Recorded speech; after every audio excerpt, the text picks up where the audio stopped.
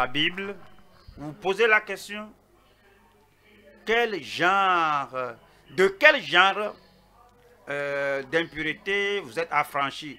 L'impureté dans les nombres ou l'impureté dans l'Apocalypse, ce qui dit que si tu es impur de cette manière et tu meurs dans cet état-là, tu peux être pur. Selon, sous l'angle de Lévitique et Nombre, et si tu es impur dans la nouvelle alliance, c'est fini pour toi. C'est pourquoi nous devons prêter attention. Qu'est-ce que l'impureté? Comment pouvons-nous en être affranchis? Comment pouvons-nous être libérés de l'impureté? Ce soir, nous allons voir la purification divine de la souillure qui donne l'âme. La purification divine de la souillure qui donne l'âme. Nombre 19, verset 17. Nombre 19, 17. On prendra pour celui qui est impur de la cendre de la victime expiatoire qui a été brûlée et on mettra dessus de l'eau vive dans un vase. Verset 19. Celui qui est pur fera l'aspersion sur celui qui est impur. Le troisième jour et le septième jour, et il le purifiera le septième jour. Il lavera ses vêtements et se lavera dans l'eau. Et le soir, il sera pur. Et le verset 20. Le verset 20 dit, un homme qui sera impur et qui ne se purifiera pas sera retranché du milieu de l'assemblée, car il a souillé le sanctuaire de l'Éternel. Comme l'eau de purification n'a pas été répandue sur lui, il est impur. le verset 22 tout ce que touchera celui qui est impur sera souillé. Et la, et la personne qui le touchera sera impure jusqu'au soir. Alors, venons aux Éphésiens 5 dans le Nouveau Testament. Nous lisons Éphésiens 5, 5. C'est ici que nous devons avoir la compréhension. Parce que si on ne comprend pas ceci, et si nous retournons à l'ancienne alliance et nous sommes plus sous l'angle de l'ancienne alliance, voici la nouvelle alliance. Il ne s'agit pas de toucher, de prendre, rester jusqu'à 7, jusqu'au soir ou sept jours. Ceci, c'est la vie même. Éphésiens chapitre 5, verset 5. Car sachez-le bien, aucun impudique ou impur, impur ou cupide, c'est-à-dire idolâtre, n'a d'héritage dans le royaume de Christ et de Dieu. Le verset 6 dit, que personne ne vous séduise par de vains discours. Car c'est à cause de ces choses que la colère de Dieu vient sur les fils de la rébellion. Nous voyons la purification divine de la sueur qui donne l'âme. Nous allons voir trois points ici. Numéro un, la condition pure devant la loi, mais impure devant le Seigneur. Ces enfants d'Israël, au temps de Christ, ces pharisiens, ces sadducéens sont purs. devant la loi, mais impurs devant le Seigneur, devant l'Éternel. 2. La purification. Purifié par le Seigneur, non entaché par l'anarchie. Purifié par le Seigneur, parce qu'ils sont purifiés par le Seigneur, le croyant, l'enfant de Dieu, lavé dans le sang de l'agneau, ils sont demeurés non entachés par l'anarchie. 3. La constance, la constance, la continuation, la fidélité, pure aujourd'hui, pure demain, pure à tout moment, la constance, pure pour le Seigneur, consumée, consumée comme le zèle, consumée comme notre Seigneur. Premier point, la condition pure devant la loi, impure devant l'éternel. Nous allons à Matthieu 23. Matthieu 23, 25. Voici les pharisiens et les sadducéens, les dirigeants du pays, qui sont méticuleux d'être purs sous l'angle de Lévitique et Nombre, pendant qu'ils ne sont pas selon l'attente du Seigneur dans la nouvelle alliance. Matthieu 23, verset 25. Matthieu 23, 25. Malheur à vous, scribes et pharisiens hypocrites, parce que vous nettoyez le dehors de la coupe et du plat, et qu'au-dedans, ils sont pleins de rapines et d'intempérance. Voyons, Esaïe, Esaïe 65, verset 5, qui dit, Retire-toi, ne m'approche pas, car je suis saint. Car je suis saint. Il observe toutes ces lois cérémoniales de l'Ancien Testament et ils sont arrivés au zénith, croyant être plus purs que tout le monde, purs devant la loi, mais impurs devant le Seigneur. Et c'est dit que de pareilles choses, c'est une fumée dans mes narines, dans mes narines. C'est un feu qui brûle toujours le Seigneur dit, vous croyez être saint, vous croyez être plus saint que tout le monde parce que vous portez la sainteté extérieure, mais au-dedans, vous n'avez pas la vie de pureté, de justice, de sainteté. Le Seigneur dit que ce sont des fumées dans ses narines. Et c'est un feu qui brûle nous allons voir euh, trois sessions ici. Numéro 1, extérieurement pur, mais intérieurement impur et condamné. 2. Ouvertement, ouvertement consciencieux.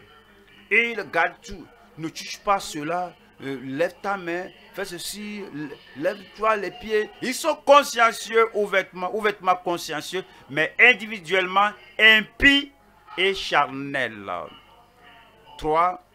Évidemment, compromis. Ils compromettent, ils compromettaient la foi, ils compromettaient le standard, les normes, la vérité évident à tout le monde, visible aux, disciples de Christ. Évidemment, compromis, mais intérieurement insouciant et satisfait. Satisfait. Ils étaient satisfaits de ce qu'ils faisaient, de ce qu'ils pouvaient faire. Ils étaient satisfaits de, de, de leur rectitude extérieure. Ils, ils sont droits, ils sont saints. Que moi, je ne touche pas euh, euh, euh, le corps mort. Je ne prends, je ne touche rien qui me rend impur.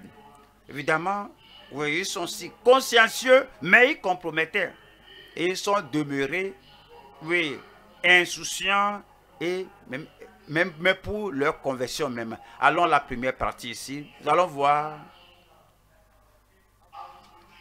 extérieurement pur, mais intérieurement impie et charnel.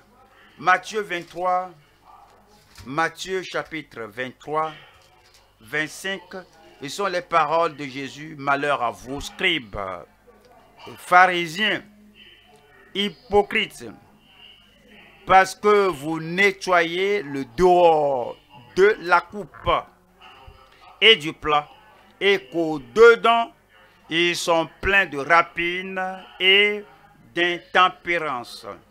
Voilà le verset 26 qui dit,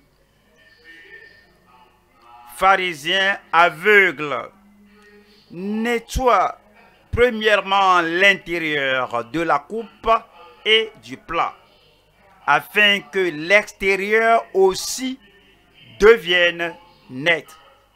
Voilà le verset 27.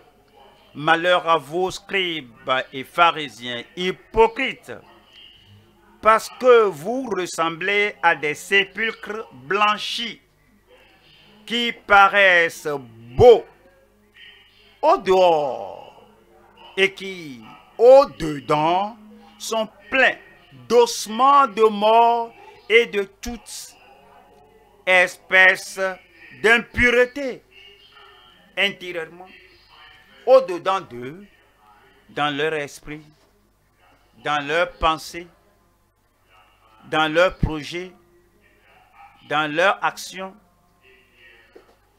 oui, dans leurs propositions, dans leur vision, en, en, tout ce qui les dirigeait, ils sont pleins d'impureté. Le verset 28 dit, vous de même, au dehors, vous paraissez juste aux hommes, mais au dedans, vous êtes plein d'hypocrisie et d'iniquité. 33. Serpent, race de vipère, comment échapperez-vous au châtiment de la guienne Extérieurement parlant, ils sont purs. Méticuleusement, ils observaient cette, affaire, ces approches de pureté dans l'Ancien Testament, mais dans leur cœur, ils sont impurs. Et Jésus a dit que, vous vous gardez parfaitement pur selon les nombres 19, mais, mais vous êtes encore pour l'enfer, serpent. Et vous, race de vipères, comment échapperez-vous au châtiment de la gêne? Voyons la deuxième partie ici, deuxième partie ici ou vêtements consciencieux, mais individuellement impies et charnels, ou vêtements, ou vêtements publiquement, comme vous les voyez, et ils marchent lentement, prudemment, et ils veillent les choses qui, avec lesquelles ils sont en contact, et parfaitement, ils paraissent aux vêtements purs. Alors qu'au-dedans, en, secret, dans le privé, ils sont impurs. Matthieu 23, voyons Matthieu 23, verset 5. Ils font toutes leurs actions pour être vus des hommes. Voyez, extérieurement, toutes leurs actions. Ils vont de cette manière et on, regarde, que qui les regarde, ils observent qu'est-ce qu'ils font afin que publiquement, qu'ils paraissent purs à la loi. Mais ils font toutes leurs actions pour être vus des hommes, pour être loués, pour être appréciés par les hommes. Et quand ils comparent leur vie à Deutéronome, au Nombre et à Lévitique, les gens qui lisent ces choses, ne touchent pas ça, il ne faut pas, tenir ça, alors ils les louent. C'est pourquoi ils font ce qu'ils font. Ainsi, ils portent de l'âge phylactère et ils ont de longues franges à leurs vêtements. Voyons, deuxième roi chapitre 10, deuxième roi chapitre 10, le verset 16. Si Jéhu appelait ici Jonadab et dit, et dit, viens avec moi et tu verras mon zèle pour l'éternel. Et il l'emmena ainsi dans son char. Verset 17 dit, 17. Lorsque Jéhu fut arrivé à Samarie, il frappa tous ceux qui restaient d'Akab à Samarie et il les détruisit entièrement selon la parole de l'Éternel, selon la parole que l'Éternel avait dite à Élie. Ici, voici Jéhu. Ce Jéhu viens Jonadab, viens voir combien je suis zélé, ouvertement, ouvertement, consciencieux. Cependant, impie au-dedans, impie en pensée, impie dans la vie, impie dans sa disposition envers le Seigneur. Verset 31 qui dit, Toutefois, cet homme qui est très zélé, venez voir mon zèle pour l'Éternel. 31, Toutefois, Jéhu ne prit point garde à marcher de tout son cœur dans la loi de l'Éternel le Dieu d'Israël. Il ne se détourna point des péchés que Jéroboam avait fait commettre à Israël. C'est pourquoi nous devons être très vigilants dans notre vie, être méticuleux à l'endroit de ceci et ma vie intérieure. Je suis très consciencieux au sujet de ceci et, et ma vie intérieure. Au dehors, tu parais une personne très ordonnée, tu parais agréable à Dieu, mais au-dedans de toi, comme j'ai zélé, consciencieux, au dehors, mais au-dedans, et ça dit que j'ai ne prit point garde à marcher de tout son corps.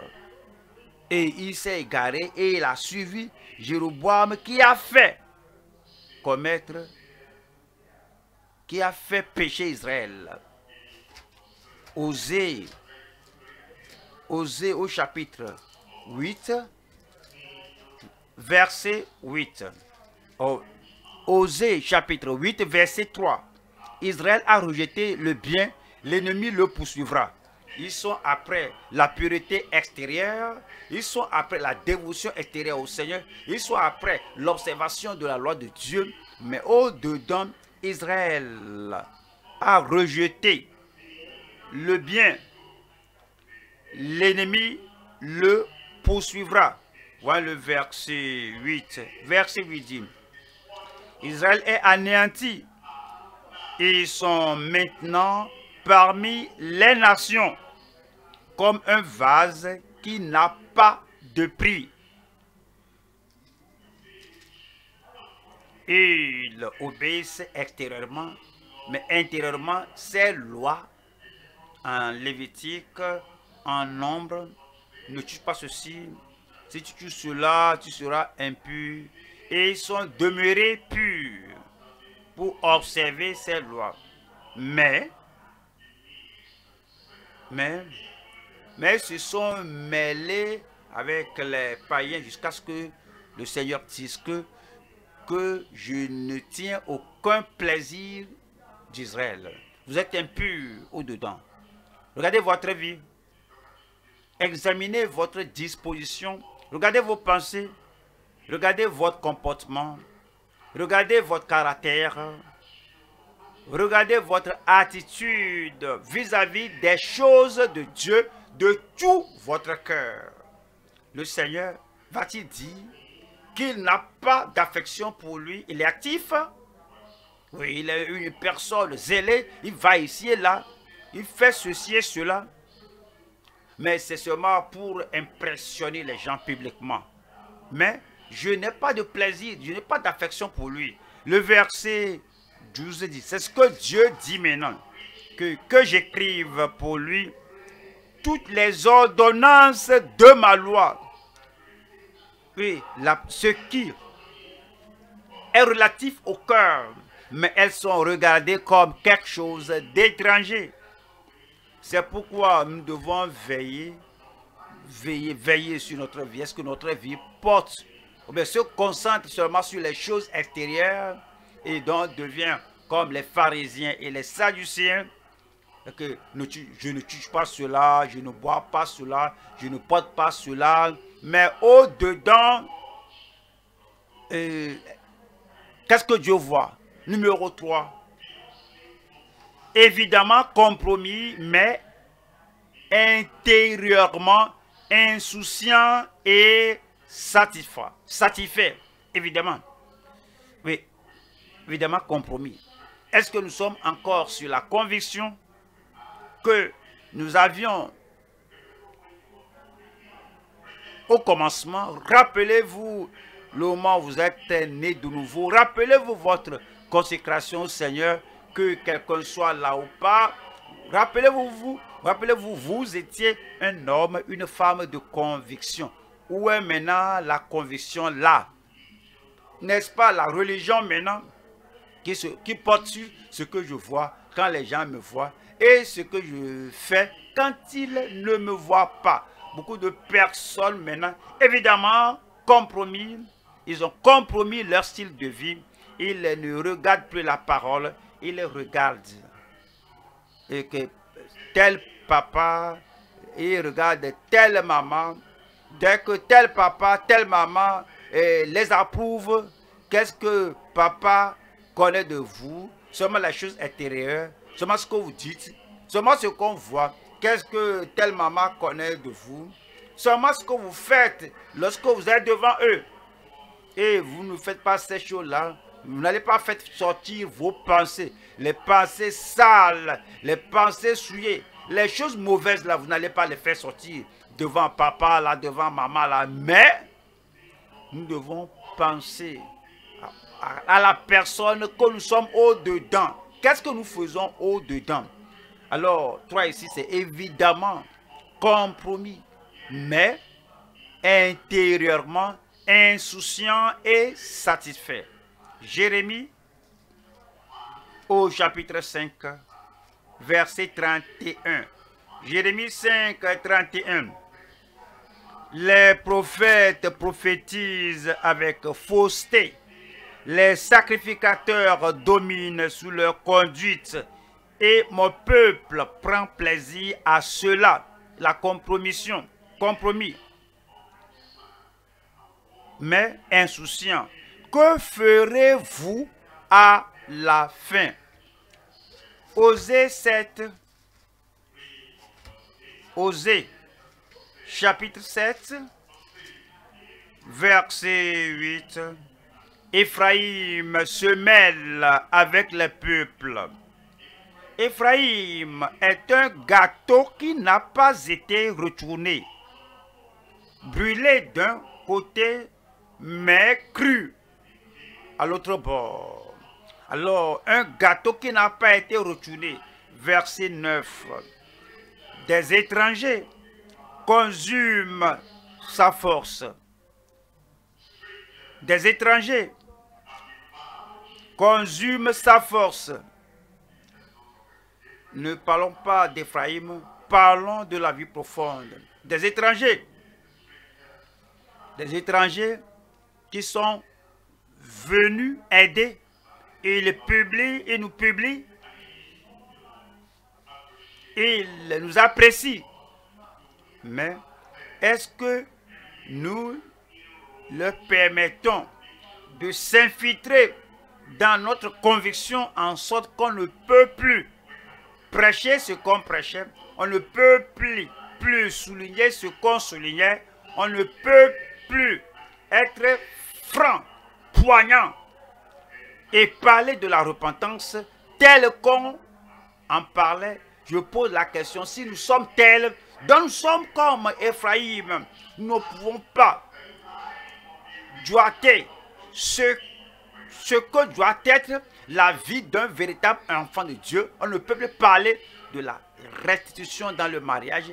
La restitution, si tu as volé et tu as maintenant bâti un château, si tu, si tu dois être en bon thème avec Dieu, tu dois faire la restitution. Est-ce qu'on peut prêcher cela aujourd'hui? Par la grâce de Dieu, moi je prêche, je le fais. Je vous demande, où sommes-nous? Est-ce que des étrangers sont venus en nous, qui nous ont infestés, qui, qui ont consumé notre force et ils ont brisé notre conviction et ils ont fouté notre vision, on ne voit plus. C'est la controverse que Dieu avait avec les enfants d'Israël. Des étrangers consument sa force. Et il ne s'en doute pas. Il ne s'en doute pas. Il coopérait avec celui-ci, avec cela. Il, se laisse ceci, à cela. Et sa force, la force de la prime jeunesse, en servant le Seigneur, en prêchant l'évangile, la force est dévorée, est détruite. La force n'est plus. Et, il ne s'en doute pas. Pensez-y. Dans votre église locale, l'épine dorsale que vous aviez, pensez-y. Votre position ferme que vous aviez, pensez-y. Mais maintenant, comme vous mélangez avec ceci, avec cela, et maintenant, on cherche quelque chose. On ne cherche pas que les âmes soient sauvées. On ne cherche pas que ceux qui sont sauvés soient affermis sur la vérité de la part de Dieu. Les étrangers viennent et ils ont consumé la force et ils ne s'en doutent pas. La vieillesse s'empare de lui et, et il ne s'en doute pas. Ephraim, qu'est-ce qui t'est arrivé? Israël, qu'est-ce qui t'est arrivé? Ah, tu n'utilises plus le miroir. Pensez à une personne qui n'a pas de miroir dans sa douche, dans sa toilette. Il n'a pas de miroir dans sa chambre. Et il, entre, il sort, pas de miroir. Et il ne se mire pas. Et, et il y a des signes de vieillesse, des, attitudes, attitudes de faiblesse. Il ne se mire pas parce qu'il ne se mire pas. Est-ce que, est que vous pouvez penser à une personne qui ne se mire pas pendant un an, deux ans, sept ans. Beaucoup de personnes ne se mirent pas dans le miroir de la part de Dieu et comparer ce que le miroir dit d'eux et comment il se présente et tout le monde voit, oui, les cheveux blancs, les signes de faiblesse, de la vieillesse, il voit cela à tout moment, mais il n'a pas le miroir pour se mirer. Il n'a pas le miroir pour se regarder. Il ne s'en doute pas. Voilà le verset 10. Verset 10. L'orgueil d'Israël témoigne contre lui. Ils ne reviennent pas à l'Éternel leur Dieu et ils ne le cherchent pas malgré tout cela. Nous sommes revenus au Seigneur. Qui dit qu'on n'est pas revenu au Seigneur, on vient à l'église, on, on, va au temple, on observe ce qu'on lit en nombre. Nous, nous ne touchons pas ceci, nous ne prenons pas cela. Voilà le verset 16. Ce n'est pas au très haut qu'il retourne. Ce n'est pas au très haut qu'il retourne. Ils sont retournés à ce que les gens espèrent d'eux.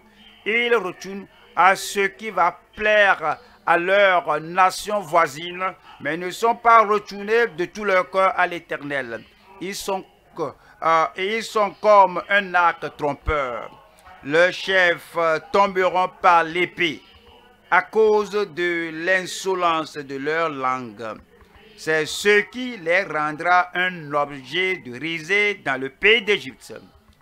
Insouciant, inconvertis. Matthieu, Matthieu 13. Matthieu 13, verset 15. Le cœur de ce peuple est devenu insensible. Ils ont endurci le cœur et ils ont fermé leurs yeux, de peur qu'ils ne voient de leurs yeux, qu'ils n'entendent de leurs oreilles, qu'ils ne comprennent de leur cœur, qu'ils ne se convertissent. Non, ils ne sont pas convertis. Ils ont fermé les yeux. Oui, leur esprit s'est endurci. Dès qu'ils obéissent, ne tue pas ceci, ne prend pas ceci. Et ils se croyaient ils croyaient que ça c'est fini, mais qu'ils ne se convertissent et que je ne les guérisse. Allons au deuxième point, notre deuxième point ici. La purification. Purifié par le Seigneur, non entaché par l'anarchie. voyez, il l'anarchie partout. Si un chrétien ne prie pas, si un chrétien n'est pas prudent, si un chrétien n'est pas vigilant, si un chrétien n'est pas fidèle, et il sera influencé par l'anarchie autour de lui et il va faire ce qu'il veut, ce qui lui arrive, il fait. Ce qu'il voit faire, il le fait. Et l'Église, ce que les autres églises font, vous voyez cela sur les réseaux sociaux, vous voyez cela. Oh, eux, et ils le font. Pourquoi pas nous?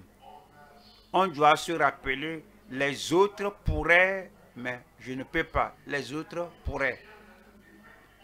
C'est la différence entre ceux qui suivent le Seigneur et ceux qui suivent le monde. La purification, purifiée par le Seigneur, non entaché par l'anarchie. Ézéchiel, au chapitre 36, 25. Je répandrai sur vous une eau. C'est Dieu qui parle à Israël ici.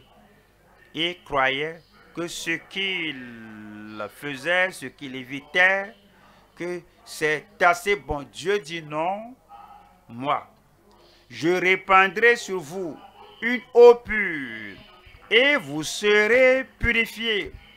Vous ne pouvez pas être purifiés jusqu'à ce que le Dieu Tout-Puissant répande l'eau du ciel sur vous avant de devenir pur. Je vous purifierai de toutes vos sueurs et de toutes vos idoles. Verset 26. Je vous donnerai un cœur nouveau et je mettrai en vous un esprit nouveau. Votre vie dépend de l'esprit qui est en vous. Si c'est l'esprit du monde, il y a l'esprit de servitude, il y a l'esprit de crainte, il y a l'esprit de compromission, il y a l'esprit de la nature adamique, il y a l'esprit de Dieu. Et là, votre vie, ce que vous faites, comment vous vivez en public, en privé, secrètement, publiquement, votre vie dépend de l'esprit qui vous contrôle du dedans. Je vous donnerai un cœur nouveau et je mettrai en vous un esprit nouveau. J'ôterai de votre corps le cœur de pierre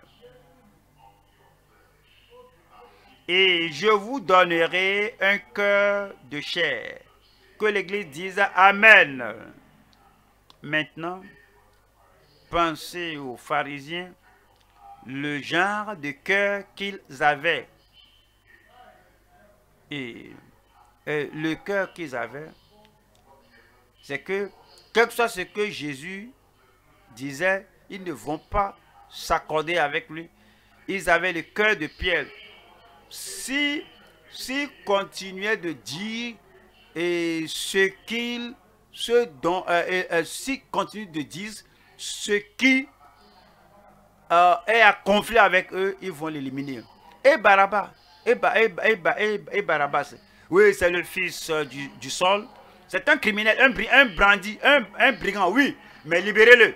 Crucifiez ce Christ. C'est le cœur endurci et Dieu dit que je, j'ôterai de votre corps le cœur de pierre et je vous donnerai un cœur de chair. Le verset 27 dit, je mettrai mon esprit en vous, mon esprit en vous. Si vous avez son esprit, vous allez vivre pour lui plaire. Vous allez vivre pour marcher dans sa voie. Vous serez tendre, vous serez doux, vous serez saint, vous serez humble. Si vous avez son esprit qui vit en vous, vous ne serez pas rigide de cœur, incontrôlable, indocile, vous ne serez pas opiniâtre. Si vous avez son esprit en vous, vous serez reconnaissant d'écouter la parole de Dieu. Je mettrai mon esprit en vous et je ferai en sorte que vous suiviez, vous suiviez mes ordonnances et que vous observiez, pratiquiez mes lois. Le verset 28 dit, vous habiterez le pays que j'ai donné à vos pères. Vous serez mon peuple et je serai votre Dieu. 29. Le verset 29 dit, je vous délivrerai de toutes vos souillures. C'est parce que vous faites pour vous-même. J'ai lu Nombre 19. Ne touche pas ce comment. Faut pas faire ceci, cela. Si tu fais cela, tu vas mourir. Parce qu'à cause de la crainte de la mort, alors tu peux ne pas trouver ces choses-là. Et ce qui est au-dedans de toi et dans ton cœur. Dieu dit que c'est lui qui a, qui a, qui a la grâce, qui a l'eau purificatrice, qui a le sang de Jésus qui va vous purifier et il va vous sauver de toutes vos souillures, impuretés. J'appelais le blé et je le multiplierai. Je ne vous enverrai plus la famine.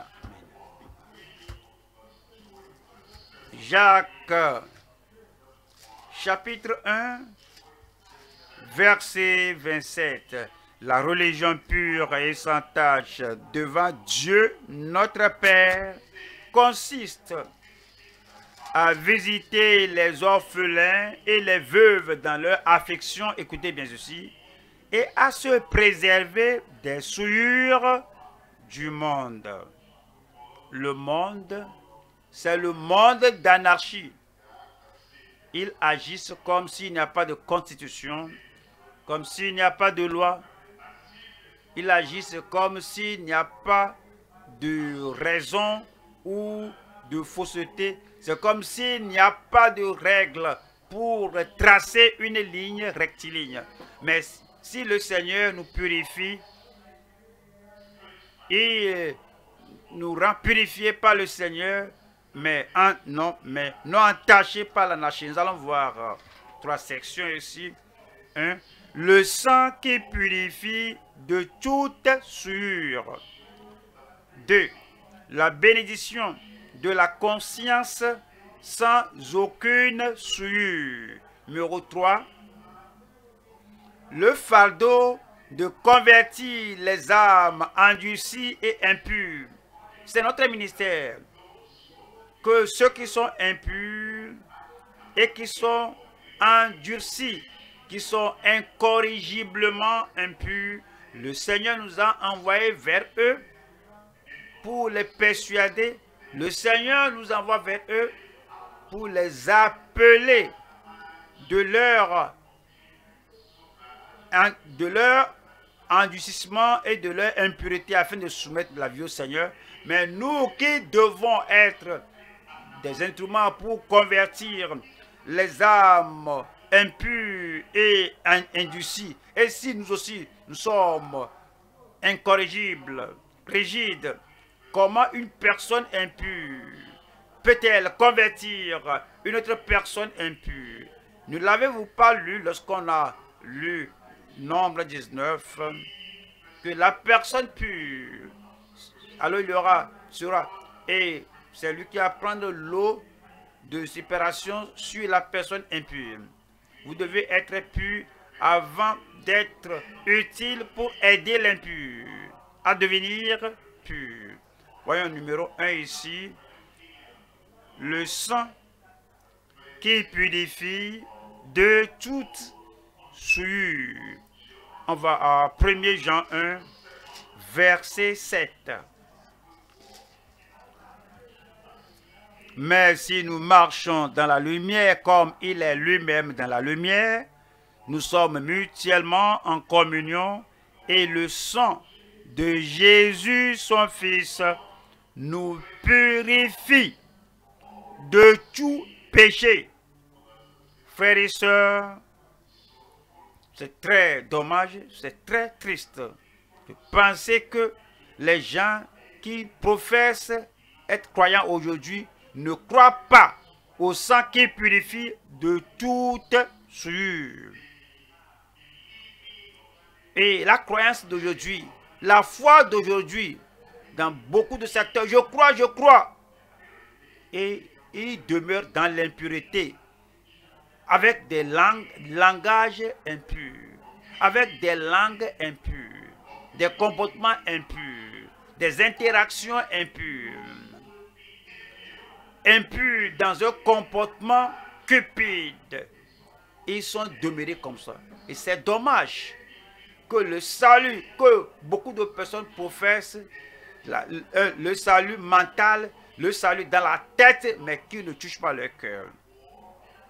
Mais si nous marchons dans la lumière, comme il est lui-même dans la lumière, nous sommes mutuellement en communion. Et le sang de Jésus son Fils nous purifie de tout péché. Nous allons aux Corinthiens, deuxième Corinthiens, chapitre 7. Deuxième Corinthiens 7, verset 1.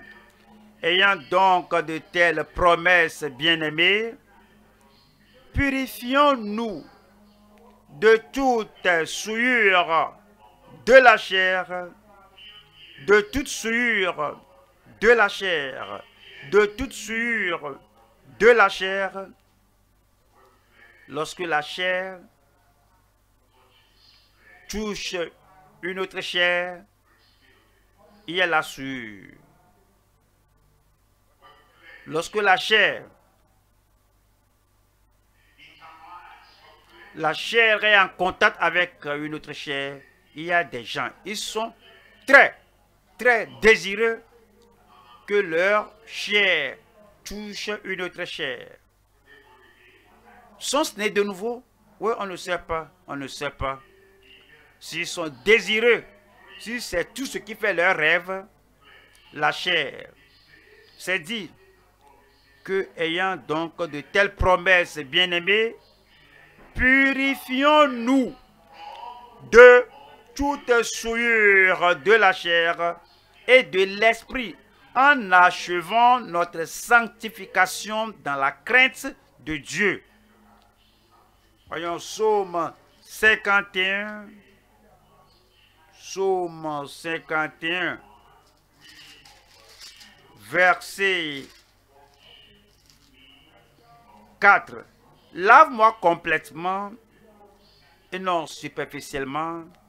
Les gens que nous voyons aujourd'hui, même ceux qui étaient, mais même ceux qui sont dans une église biblique du Nouveau Testament, ils n'ont pas cette purification parfaite. Ils, peuvent se montrer différents du, monde, mais ils sont superficiellement lavé. Il dit, lave-moi complètement de mon iniquité et purifie-moi de mon péché. Le verset 7 dit, verset 9 du moins, purifie-moi avec les eaux et je serai pur. Lave-moi et je serai plus blanc que la neige. Lave-moi, lave-moi, lave-moi.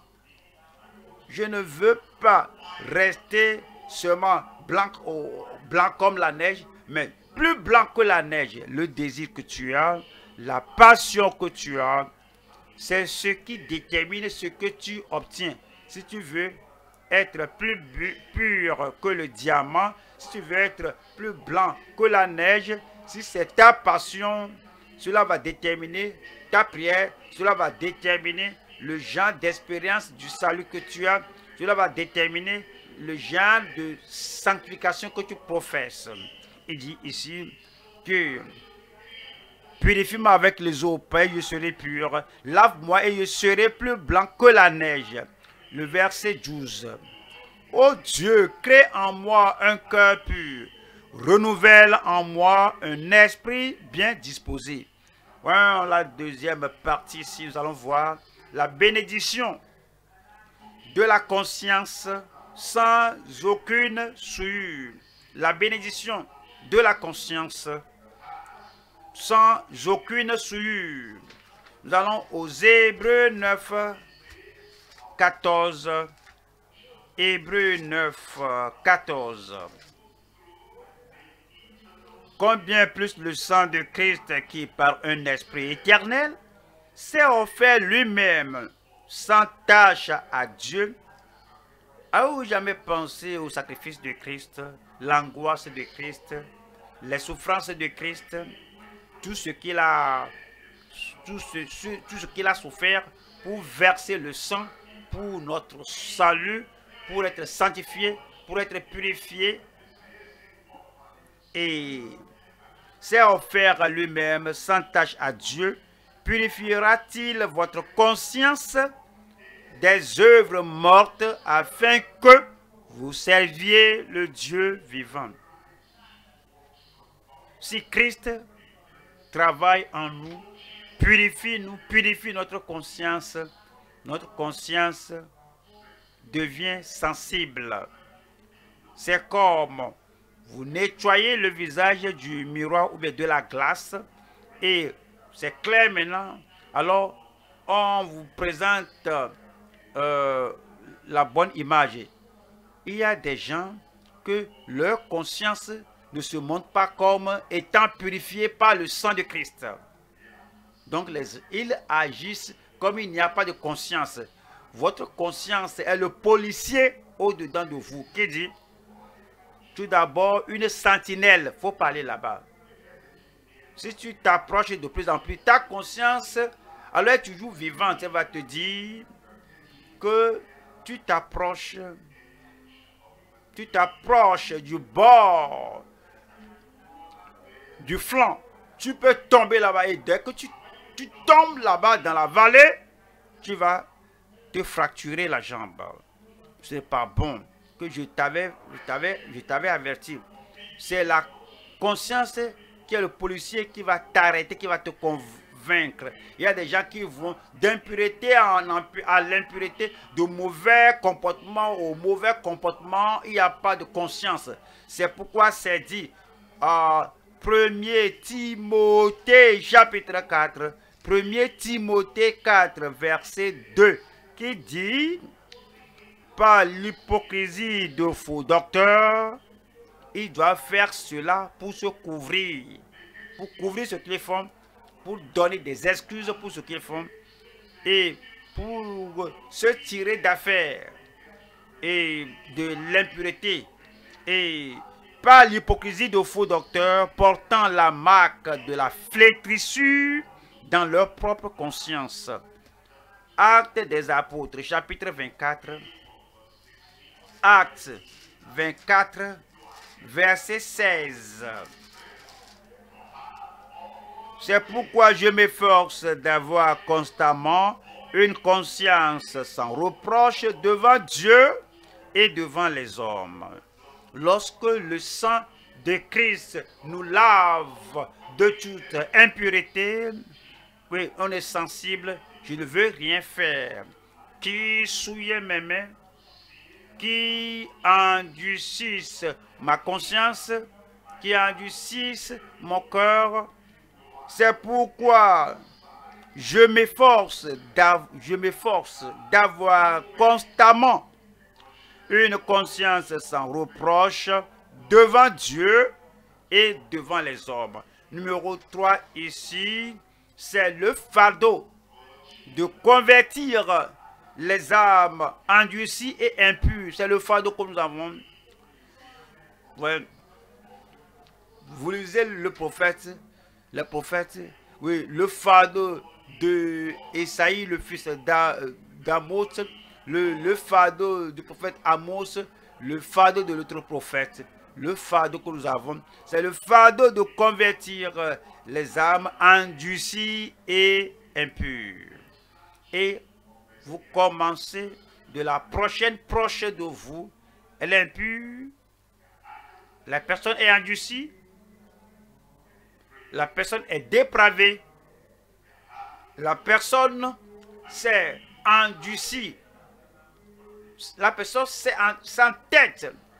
Quoi qu'on parle du ciel chaque jour, si on n'a pas le prix de parler, de, payer le prix, même s'arrêter, dit que la façon dont je vais, et, puis si on ne sait pas quand la mort peut venir, frère et soeur, on ne sait pas quand cela peut venir et sans être préparé. Et la personne est rigide et impure et où passera-t-elle l'éternité? Les gens qui sont impurs de cette manière, voyons Proverbe au chapitre 30. Proverbe chapitre 30, verset 12.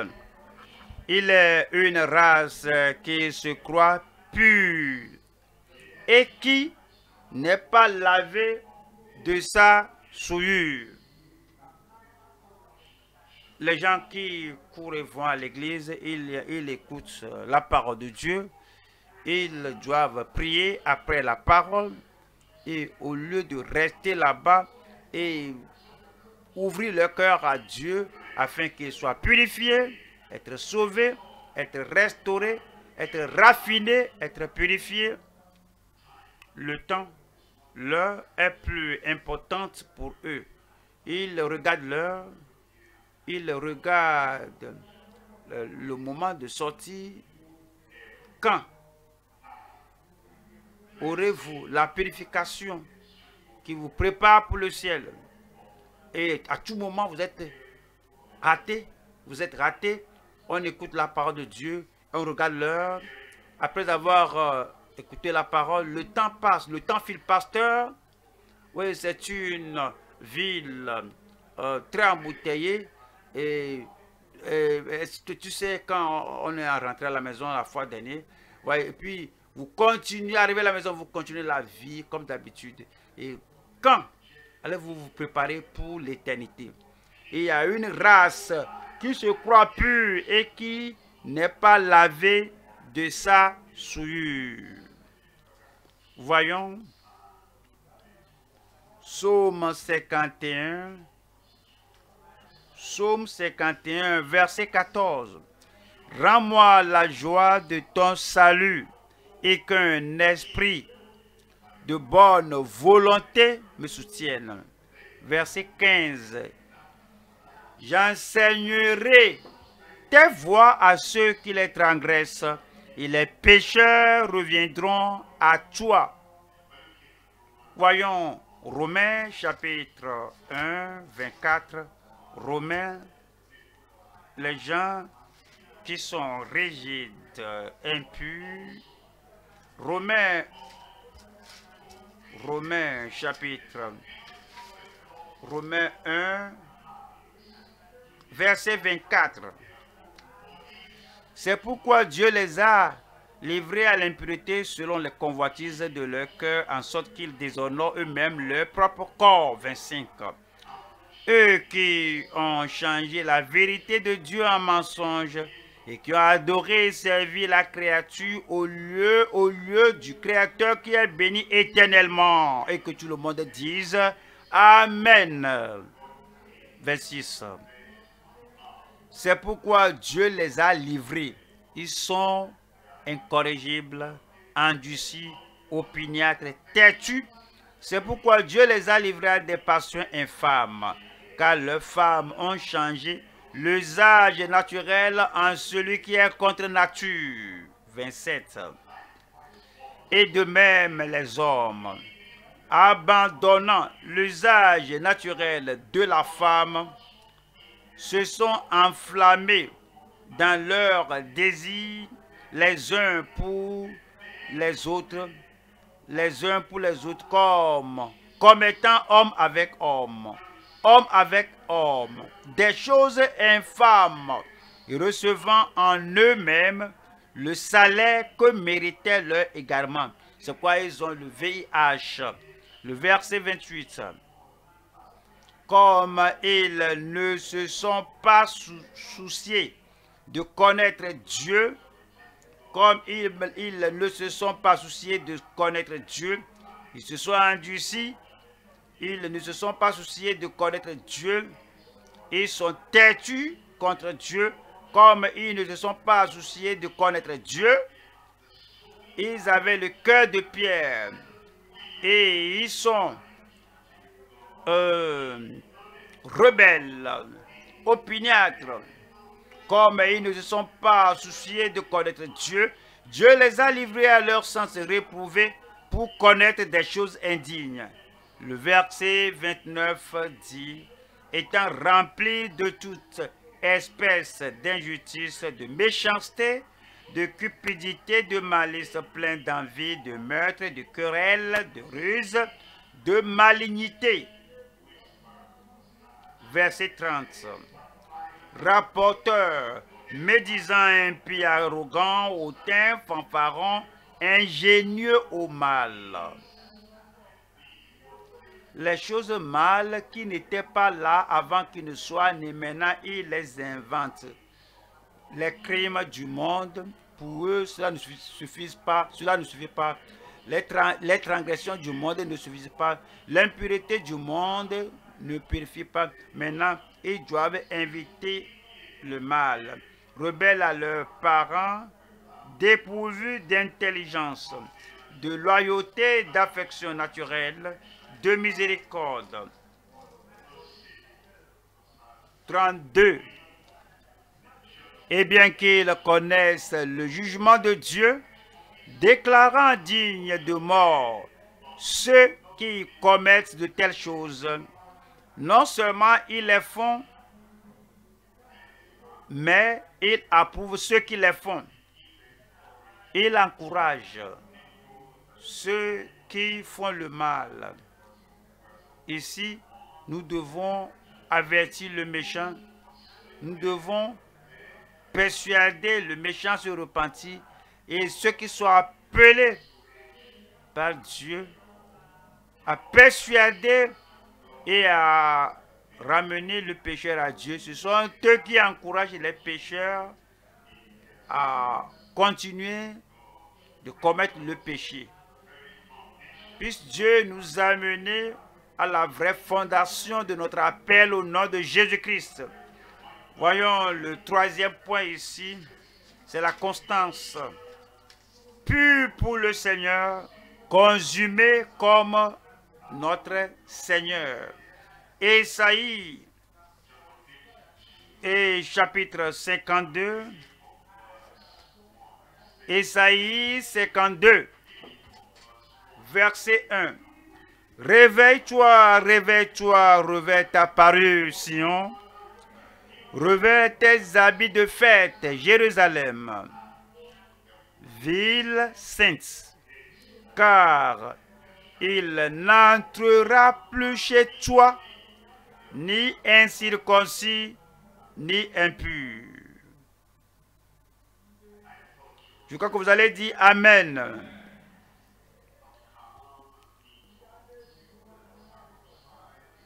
Car il n'entrera plus chez toi ni incirconcis ni impur. Qu'est-ce qu'on fait? Nous devons nous purifier. Nous devons effacer l'incirconcis, l'impur du milieu de nous. Nous commençons par nous-mêmes. Alors nous devons tout faire que notre cœur est circoncis, que le, par le Seigneur lui-même, afin qu'il ôte toute impureté de notre cœur, de notre vie, de notre disposition. Qu'est-ce que nous devons faire? Comme, comme nous n'avons plus l'impur en nous, nous commençons par nous-mêmes. Les choses évidentes dans, impures dans notre vie, et nous sommes sincères, nous sommes honnêtes, et nous allons sur l'autel du Seigneur, nous invoquons le Seigneur et qu'il purifie, qu'il efface, qu'il ôte tout ce qui est impur. Verset 11. Partez, partez, sortez de là. Ne touchez rien d'impur. Sortez du milieu d'elle. Purifiez-vous, vous qui portez les vases de l'Éternel. Purifiez-vous, vous qui portez les vases de l'Éternel. Psaume 119. Psaume 119, verset 139. Verset 100, Psaume 119, verset 139. Mon zèle me consume parce que mes adversaires oublient tes paroles. Si vous voyez que l'assemblée là oublie la parole du Seigneur, la localité là oublie l'assemblée, euh, la parole du Seigneur et s'attire une foule qui aime l'impureté, qui aime la convoitise de la chair, les gens qui aiment les choses qui, qui poussent leur chair à toucher une autre chair, et comme ils oublient la parole du Seigneur, dans l'assemblée de plusieurs dénominations, de, plusieurs églises, même certaines de nos, de nos nos branches, si vous voyez cette, cette église-là, j'ai le zèle pour le Seigneur parce que mon ennemi a oublié la loi de l'éternel. Voyons Jean, Jean 2, 17. Jean 2, 17. Jean 2, 17. Ses disciples se souviennent qu'il est écrit le zèle de ma maison me dévore. C'est pourquoi nous devons voir la constance que nous devons avoir. La constance pure pour le Seigneur, consumée comme notre Seigneur. Voyons trois sections ici. Numéro 1. Bâtir la foi des convertis purs qui s'attachent au Seigneur les convertis qui viennent au Seigneur, alors comment on les édifie? Nous édifions leur foi, nous bâtissons leur foi et nous les faisons attacher au Seigneur. Deux, porter le fruit des chrétiens purifiés et courageux. Nous portons le fruit, le fruit de l'évangélisation, le fruit de dissiquer. Nous suivons ces convertis, nous voulons que ces fruits-là soient des chrétiens, des chrétiens purifiés, courageux, pas, pas des chrétiens euh, nominaux qui ne sont pas différents des gens qui sont dans leur péché. 3. La fidélité audacieuse en une conviction pure et claire. C'est le genre de choses qu'on doit avoir lorsqu'on a la conviction. On, lorsqu'on a, la conviction, on devient audacieux, alors, et, alors on est, on est la loi par de Dieu est importante plus que tout gain dans le monde. Alors, on use de fidélité audacieuse envers la part de Dieu. La fidélité audacieuse en une conviction pure et claire.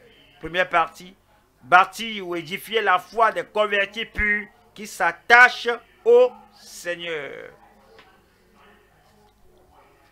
Acte. Acte 11. Acte 11. Acte 11, 23. Acte 23. Lorsqu'il fut arrivé, qu'il eut vu la grâce de Dieu, il s'en réjouit et il les exhorta tous à rester d'un cœur ferme attaché au Seigneur. Éphésiens 5, 25. Éphésiens 5, 25. Éphésiens, Éphésiens 5, Éphésiens 5, 31. C'est pourquoi l'homme quittera son père et sa mère et s'attachera à sa femme et les deux deviendront une seule chair. 32. Ce mystère grand. Je dis cela par rapport à Christ et à l'Église.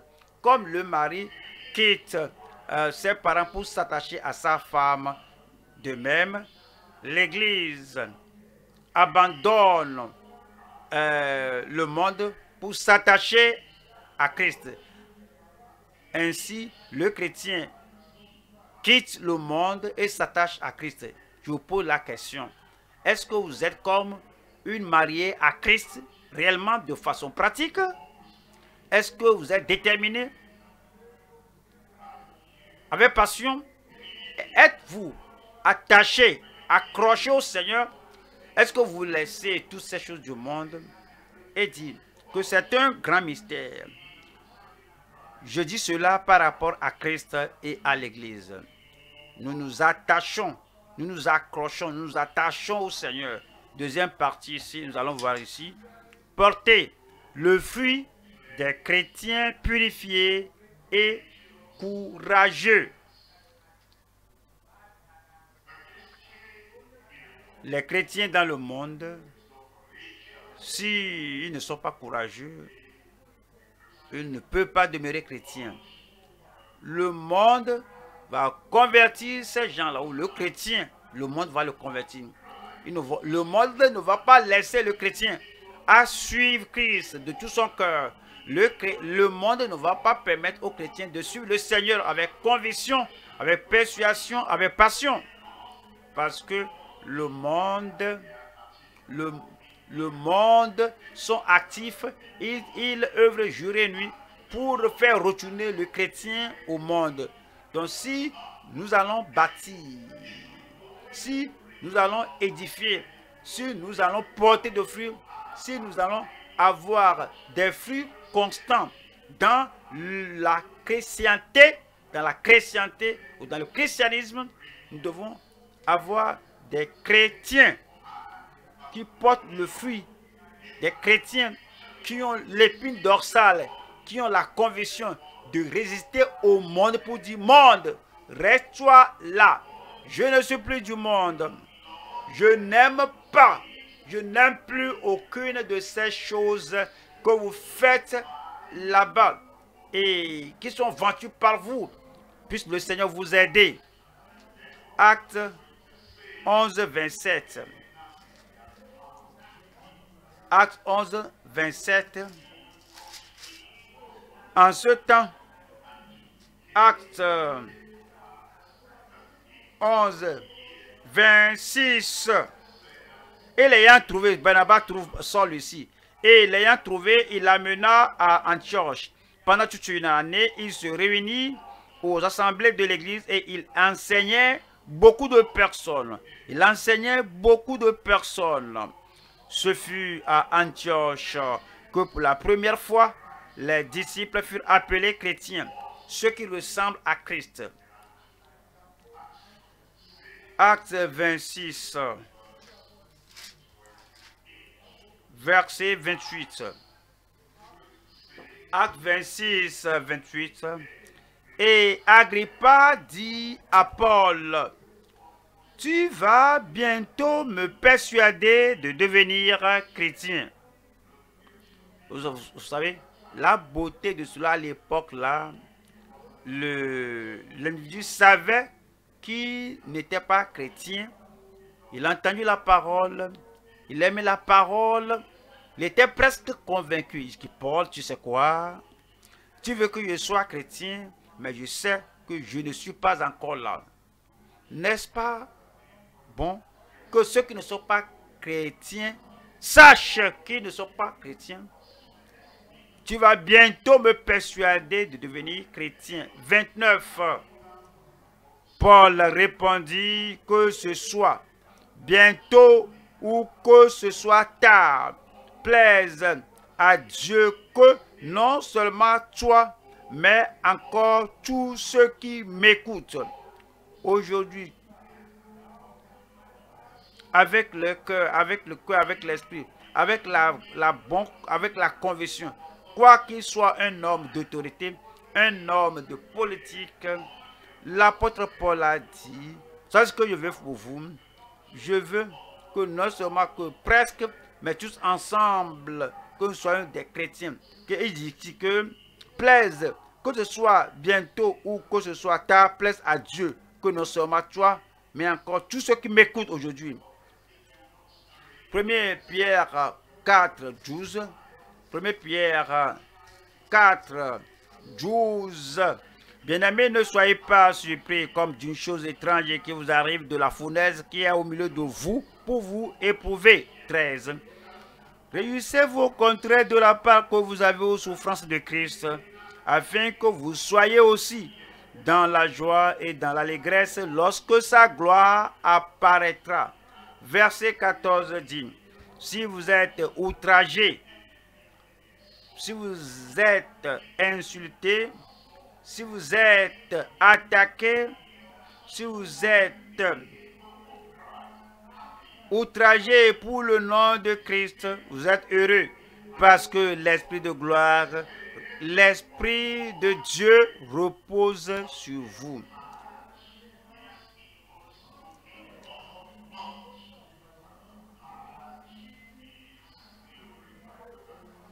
Verset 15. Que nul de vous,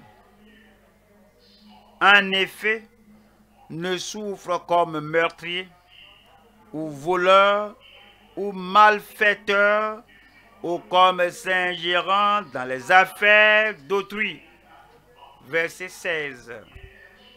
Mais si quelqu'un souffre comme chrétien, comme Christ a souffert, mais si quelqu'un souffre comme un chrétien qui croit la Bible, si quelqu'un souffre comme chrétien, qui ne va pas compromettre si quelqu'un souffre comme un, un croyant ferme qui suit la voie et la volonté de Dieu, si quelqu'un souffre comme chrétien, qu'il n'en ait point honte et que plutôt il glorifie Dieu à cause de ce nom. Numéro 3 ici, la fidélité audacieuse en une conviction pure et claire. Pure et claire. Une conviction pure et claire. Si quelqu'un doit vous suivre chaque jour dans la vie, depuis du secret au public, écoutant ce que vous faites, écoutant ce que tu fais, te voyant interagir avec les gens, voyant ta, transparence, ta vie, si quelqu'un doit t'accompagner et ne va pas te laisser une minute, qu'est-ce que la personne là sera en mesure de dire comme ta conviction, il entend ce que tu dis, il voit ce que tu fais. Qu'est-ce qu'est-ce que la personne là sera en mesure de dire de ta conviction? C'est ce que nous, devons vouloir, vouloir être. Être audacieux, pur, avec une conviction définie. Il n'y a pas d'erreur en quelqu'un. Que l'homme là est, est un homme de conviction. Voici sa conviction. Cette femme est une femme de conviction et on peut te le dire. Voici sa conviction. Mais si vous menez une vie que personne ne peut dire quelle est sa conviction, ah, nous le connaissons, l'homme, c'est la vie profonde, on le connaît. Mais quelle est sa conviction personnelle? Qu'est-ce qu'on peut dire de toi? Le Seigneur veut qu'on ait la fidélité et l'audace que tu le connais, que tout le monde voit notre conviction claire et pure. Acte 4, 13. Acte 4, 13. Lorsqu'ils virent l'assurance de Pierre et de Jean, ils furent étonnés, sachant que c'étaient des hommes du peuple sans instruction. Et ils les reconnurent pour avoir été avec Jésus. L'assurance, l'audace, pour avoir été avec Jésus. 1 Jean, 1 Jean chapitre 4, verset 17. Tel il est, et l'amour est parfait. C'est en cela que l'amour est parfait. C'est en cela que notre consécration est parfaite. C'est en cela que notre amitié est parfaite avec le Seigneur. C'est en cela que notre dévotion est parfaite. Tel il est, tel nous sommes. Aussi dans ce monde, c'est en cela que l'amour est parfait en nous, afin que nous ayons de l'assurance au jour du jugement.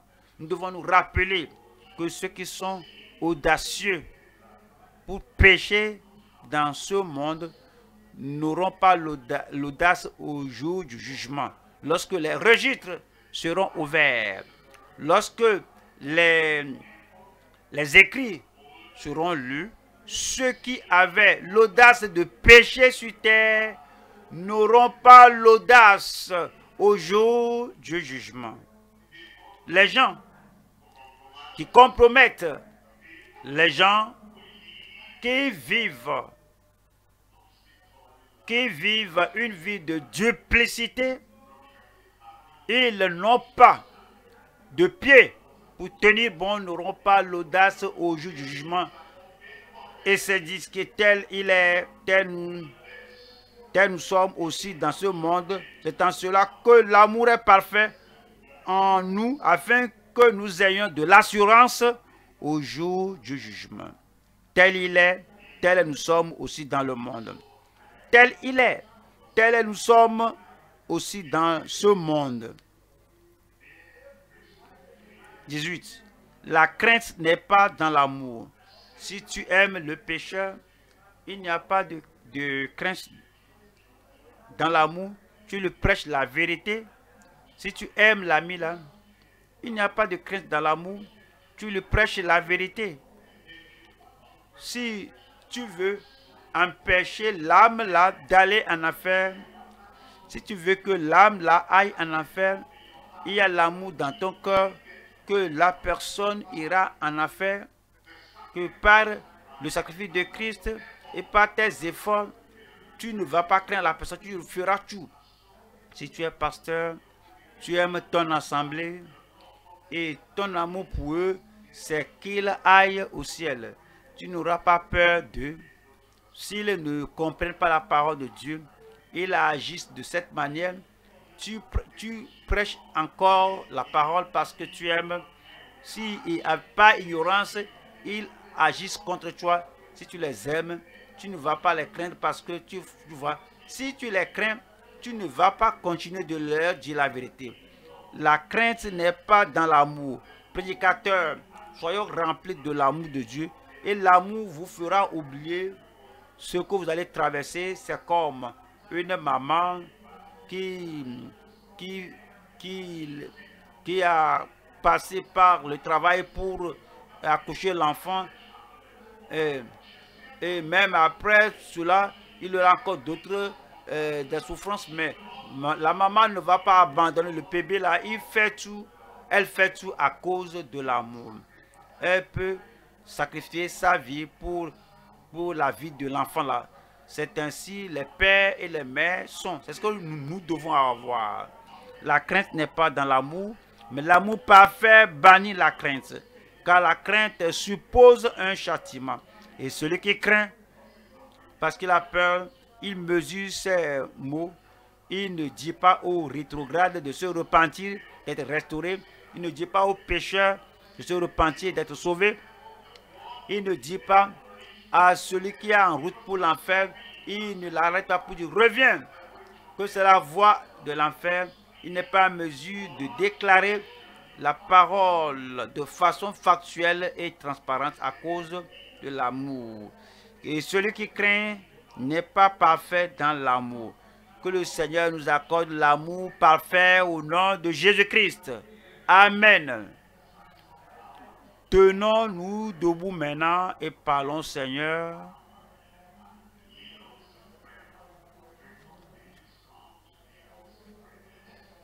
Parlons Seigneur dans la prière. Tout ce que nous avons entendu maintenant. Que le Seigneur nous purifie. Qu'il nous purifie. Qu'il nous lave de toute forme d'impureté. Il est capable. Il le fera. Que le Seigneur vous bénisse. Priez, ouvrez la bouche et parlez au Seigneur dans la prière.